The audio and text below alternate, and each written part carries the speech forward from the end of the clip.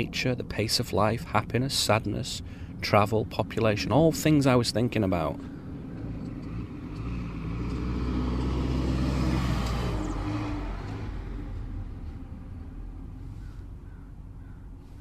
A very affirmative sync. And uh, I looked up his birthday for a little numerological correspondence, and the result was the word vindication. That is, you know, justify, uphold, assert, which makes perfect sense in the present context, really. The universe has a very sophisticated sense of humour. I love it. Thank you, John Betjeman. And exploring the ideas and personage of Sir John Betjeman as he became, it made me realise how so often in my thinking it is the everyday heroes that really strike the keynote of truth. The everyday people. And yeah, we can talk about these incredible figures like Socrates and Plotinus and Hegel and Blake and Blavatsky and good old Castaneda, even.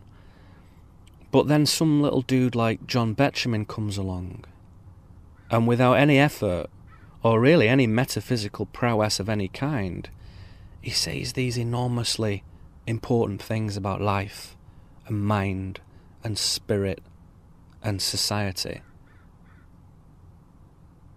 And he's not necessarily putting him in this tremendous philosophical framework, but he is seeing something very important, unique. And this happens a lot. These everyday people who are not pathwalkers another one, a, huge contrast to Betjeman, is a man called Fred Dibnah.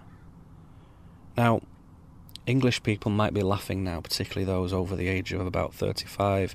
You couldn't get more of a cultural chasm than you do between John Betjeman and Fred Dibnah. Betjeman, this man of learning from quite a privileged background, going to Marlborough and then Magdalen College, Oxford, and whatnot, taught by T.S. Eliot, you know, later poet laureate. And then you have Fred Dibnah, a man from very humble origins. Uneducated, essentially. His father worked at a bleach works and his mother was a, a charwoman, like Mrs. Dilber in Dickens's A Christmas Carol. He left art college at 16, became a, a joiner, did various other odd jobs, did national service, you know, for the military, and then began chimney felling and church spire restoration. And that's it. But Fred Dibnah was a unique man. This curious little portly man from a town called Bolton in the northwest of England, about sort of 40 minutes' drive from where I used to live. And he blew up old factory chimneys for a living. That's how he became famous because a a film crew followed him around, emphasized his eccentricity, which was very natural to this man, very fluid, very real. And they showed us another person who was out of his time. Very old fashioned man with old fashioned values, but good. You know, good. And one of the remarkable things about Fred was that he taught himself to be a master engineer. He built these huge, beautiful old machines from scratch steam engines and industrial boilers and traction engines, even a coal mine in his backyard, his own backyard, with all the pit headgear and associated stuff. Incredible. And these things were made from iron and steel and brass and stone. Big old things, things that last hundreds of years, like nothing we have today that's built now, really. No rubbish plastic and puny aluminum slivers of things, things that are built not to last, things that have built in obsolescence, so you'll need to buy a new one in a couple of years. No, not so with Fred. He was um, he was very proud of his skills, um, the machines that he could run, the parts that he could make, building his steam engines. He made all the parts himself. This is um, these are skills that are somewhat undervalued in our society today, and Fred tried to bring them to the fore. Now making square washers. He believed that engineering was not about the theory, but about the practical application. There's nothing wrong with that for for a, a, a hole in a piece of iron, is there? He was an absolutely superb man, whether we were working on a lathe whether we were drilling holes through a pin through a bolt. Considering met they was mainly self-taught and there wasn't really a, a, a workshop machine that Fred couldn't operate, well, it's unbelievable the skills he had, really. And I know that from people who taught at uh, technical colleges or other engineers who came on site and saw evidence of Fred's work. They were always uh, enthusiastic and full of praise for the level of, of skill that he showed and the finish that he achieved with, with items that he'd made. From the pit egg gear, 30 foot high, right down to making his own sort of individual nuts and bolts for the traction engine. I mean, I learned how to do all this by being shown by another man stood at the side of me. I mean, uh, you've got to read books to get the basic gist of it, but, you know, you can't really do it just from the book. He had this thing about the aesthetics of Victorian industrialism, all that mysterious new machinery that started appearing from about sort of 1840 onwards, where instead of just making a steam engine that was black and green and whatever, they'd make the engine and then spend hours, weeks, months, years making it beautiful. With finely crafted rivets and polished brass gauges and intricate paintwork and superb livery, polished steel pistons, and all these authentic components from the, the 1800s, you know. Which is funny because if I look around, I can see all kinds of big industrial things here.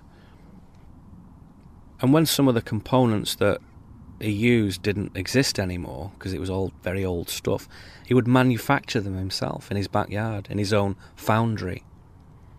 And none of this with any formal mechanical engineering education. None. And yet, leading engineers, teachers of this stuff, from Manchester and London and Birmingham and Sheffield and Leeds and Glasgow, these great centres of industry, would frequently applaud the super professional levels of craftsmanship they saw in this man's work, in Fred's work. They couldn't believe he'd had no training, they couldn't believe it. You know, I think Fred would have been a living legend with the modern sort of steampunk subculture. He'd be making all sorts of incredible things for them. They'd love it. They'd love him. So Fred had this like infectious passion for the engineering genius of, of Britain in the Victorian era. Not a subject that previously held particular interest for me, but because of this man's zeal for it, it became something that I found meaningful and interesting. And what men like Fred Dibnah and John Betjeman achieve is a lot like those situations at high school where, you know, you have this certain teacher who's so animated and fascinated by their subject that they make it appealing to the other students. They inspire other people to look into it. And the students look at this uh, passionate teacher and think, you know, well, if this guy can be so like enamored and eager and committed and full of life about this thing, there's got to be something to it, you know. So let's have a look. Let's see what he's getting so excited about. So sometimes, you know, if it were not specifically for those people presenting their information in a certain way, then we might not have bothered to look at it at all. The delivery of knowledge can be just as important as the knowledge itself how we do something is as significant as what we're doing, if not more so. And a big part of this is that committed people do not separate their heart from their work. You can feel it. And that's a very critical factor. They pour themselves into what they are doing. Something that's very hard to do if you don't care about what you're doing fact, you avoid that. But when you do care about it, when you do believe in it, when you do see higher value in a thing, then you're happy to put yourself into it. The work falls to pieces without that. Put some observation and some insight into the mix, some skill, creativity, some truth. And then we begin to sense that special alchemy. Something new arises. Something reassuringly human, dignified, wholesome. There is some craftsmanship in this, in how we approach a thing, attention to detail, being prepared to learn new disciplines It's not just the message. It's funny that, isn't it? Because everyone says, oh, it's all about the message. It's not just the message. It's not just a matter of letting the information speak for itself. That's not quite true. It is the skill of the human, too. Their authenticity, their commitment, their focus. I try my very best with that, and I know for sure that all my amazing friends and colleagues do the same thing with their projects too. We strive for quality. For our own sake, first and foremost. But we know that it makes for a better shared artifact. Forging a thing of quality reflects one's commitment to the work itself, to the knowledge, its core, its context, its sharing. That delivery matters. You know, privately, when I consider my fellow conscious presenters and teachers and researchers and spiritual practitioners and whatnot, privately, I cut the whole thing into either brilliant or dull. No in between. No grey squares on the chessboard. Be excellent or say nothing. Be honest or shut up. Be authentic or fuck off. Life is extreme. Black and white. This is actually a way of giving due deference to our fellow humans. Whether you're talking to one person, your father in law at the kitchen table, or a group of people, or a huge group of people, it's wise to take into account the setting, the vibe, the context, the tone. Then deliver something that consciously fits that shape. This is how I respect my fellow spiritual travellers. This is how I show them respect not by just churning out my usual routine, the old narrative, giving my shtick, going over the same spiel regardless of who, what, where, and when. No.